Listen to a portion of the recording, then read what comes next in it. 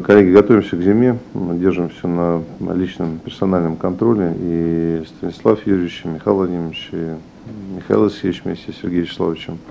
К зиме мы э, должны подготовить, чтобы у нас не сработала э, народная поговорка, что зима всегда приходит внезапно. Подготовку к периоду зимнего содержания территории обсудили на еженедельном совещании главы округа Андрея Иванова. В муниципалитете находится 2139 многоквартирных и жилых домов.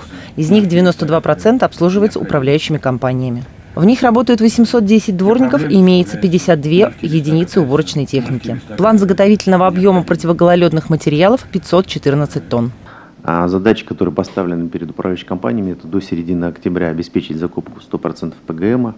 Готовность техники практически у нас обеспечена. Основной вопрос сейчас импортозамещение комплектующих, потому что достаточно много бобкетов, которые в основном импортного производства, но по ним ведется работа по подбору либо аналогов, либо созданию ремонтной базы. Установленный алгоритм уборки снега при мелком и обильном снегопаде остается прежним. В первую очередь убирают входные группы подъездов МКД, затем тротуары, подъезды, а уже после детские площадки. Единственное, что при обильном снегопаде уборка выполняется периодически, то есть не дожидаясь окончания снегопада.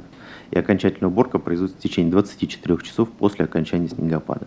Так подробно проговариваю, потому что очень часто жители спрашивают, когда идет снегопад, а почему еще детская площадка не почищена. Для содержания дворовых и общественных территорий зимой будут задействованы более 650 рабочих и 238 единиц коммунально-уборочной техники. 25 машин, 9 тракторов, 12 погрузчиков и 4 «Газели» были дополнительно приобретены в 2022 году.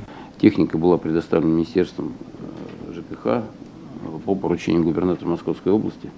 Мы вошли в пилотный проект э, по содержанию дворов, и эту технику, собственно говоря, мы получили. В ведении дорожного хозяйства округа находится 761 дорога общей протяженностью более 640 километров. Уборка будет осуществляться по регламенту. Проезжая часть не более 5 часов, обочина не дольше 6. А снег на тротуарах и подходах к остановочным пунктам будут устранять в течение двух часов. Также, естественно, у нас круглосуточно ведется э, проверка выхода техники с помощью специальных систем вниз ГЛОНАСС собираем и анализируем информацию о проводимых работах, а также взаимодействуем с ГИБДД и принимаем обращения граждан. Как отметили в ходе совещания, полная готовность к зимнему периоду всех служб ожидается к 1 ноября текущего года. Полина Толмачева, Станислав Трифонов, телекомпания «Одинцова».